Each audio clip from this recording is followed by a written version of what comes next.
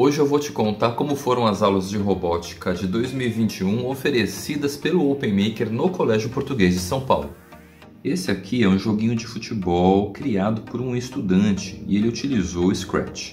Aqui você pode ver algumas animações que os estudantes fizeram utilizando o Scratch Junior e eles fizeram programação em blocos.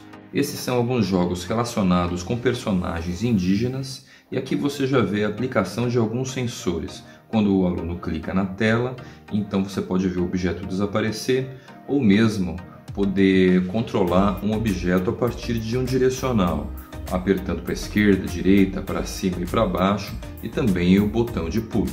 E o estudante tem toda a liberdade de criar o jogo da maneira como ele achar mais interessante. Aqui você já vê algumas imagens que foram recortadas do fundo delas, imagens de objetos que os próprios estudantes criaram dentro da sala de aula. Então eles foram transformados em personagens, em animações, para que eles possam criar games dentro do Scratch Junior. Aqui você pode ver a resolução de um desafio que foi proposto para os estudantes. Eles tinham que encontrar qual que era o código de programação em blocos para fazer com que um povo saísse do início de um labirinto e chegasse até o final dele, sem bater em nenhuma das paredes e conseguindo coletar as três estrelas. E aqui você pode ver qual foi a solução que um estudante do quinto ano conseguiu encontrar junto com a sua sala para cumprir todo esse trajeto no menor tempo possível. Os estudantes que estavam em casa puderam compartilhar os games que eles criaram por compartilhamento de tela. E aqui a gente vê diversos outros jogos produzidos pelos alunos, o robô de seringas e o carrinho robô que foi produzido aqui no OpenMaker. Esse quebra-cabeças, esse jogo de xadrez 3D também foi produzido aqui no OpenMaker os estudantes também criaram aviões de papel para poder fazer o lançamento deles ali do lado de fora da sala de aula. E aqui você pode ver o resultado de alguns modelos que tiveram um desempenho bastante interessante. E aí eles puderam analisar quais são aqueles projetos que conseguiram realizar, atingir um alcance máximo. E aqui você pode ver então qual que foi o avião de papel campeão dentre todas as salas do ensino fundamental 1. Esse foi um barquinho que foi criado pelos próprios estudantes e que ele era movido simplesmente a corda, né, com elástico e palitos de sorvete, um projeto que a gente já criou aqui um vídeo no OpenMaker, e esse é o Marlon, que está controlando um carrinho robô a partir do celular. E esse projeto também você encontra aqui numa das playlists de programação e Arduino do canal. Esses são os alunos do ensino médio da Clarissa, professora de física, ela que orientou os alunos a fazer a construção eletrônica do carrinho robô. E então eles foram aplicados na Expo e utilizados pelas crianças, pelas famílias. E aqui você pode ver a montagem do chassi realizada pelos alunos do ensino fundamental 1.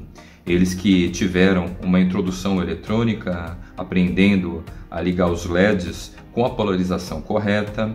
Eles também aprenderam a como utilizar uma protoboard para conseguir fazer essa ligação e inclusive poder também utilizar alguns outros componentes como jumpers e botões de acendimento e inclusive resistores para proteção desses LEDs.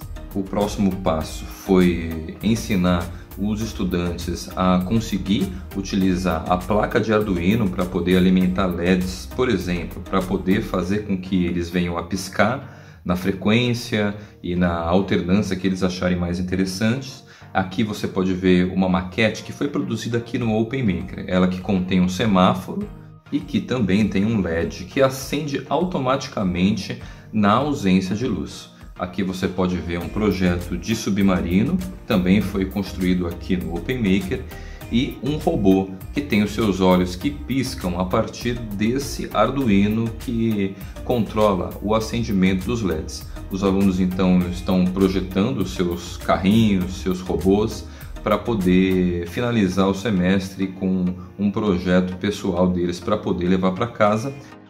E essa foi uma apresentação de um estudante do quinto ano, o Yuri Turbo, que ele mostrou para a gente como poder utilizar o Minecraft Education Edition para o ano que vem, o ano de 2022.